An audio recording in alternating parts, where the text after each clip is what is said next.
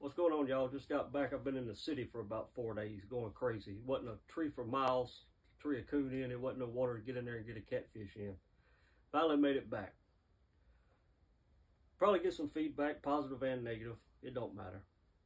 Got the floating bandit fishing stringer. This is for hand grabbing or noodling catfish. I don't care what you do with it. Catch alligators, buffaloes, big women, it doesn't matter what you do. I designed it for catfish. Had one before.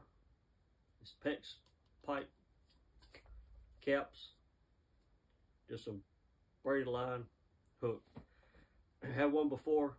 Had holes drilled in it to put the hook in. Had several different ones I made for. I finally got one I liked. This one actually floats. Dropped a few. Got down in the swift water. Washed away. This one here, if you drop it, it's going to float. You just walk over and pick it up. Or whatever it snags on. Go down, fish your den, get the fish in your hand. Go under, all you gotta have is the hook. Go through the top of the mouth or the bottom, or the bottom jaw. Get it through there. Pull it. Hook it in there. You got your fish, you can let go of it. Fish is hanging.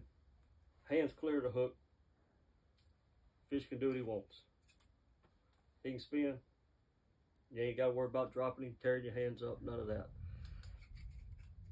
You can do it with without this, without gloves, however you want to do it. It's working smarter, not harder. Let me know what you think.